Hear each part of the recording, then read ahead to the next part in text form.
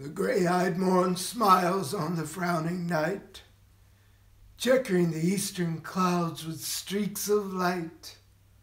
And fleckled darkness like a drunkard reels from forth day's path and Titan's fiery wheels.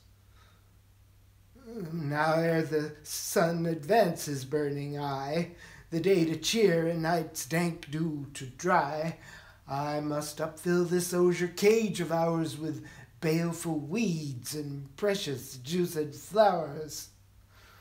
Oh, mickle is the powerful grace that lies in plants, herbs, stones, and their true qualities.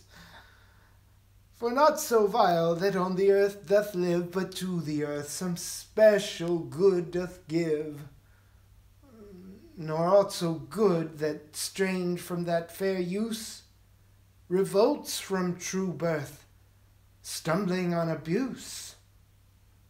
Virtue itself turns vice, being misapplied, and vice sometime by action dignified.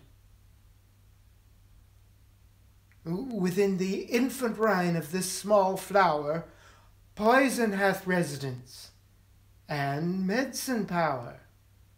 For this being smelt with that part cheers each part. Being tasted slays all senses with the heart. Two such opposed kings encamp them still in man as well as herbs. Grace and rude will.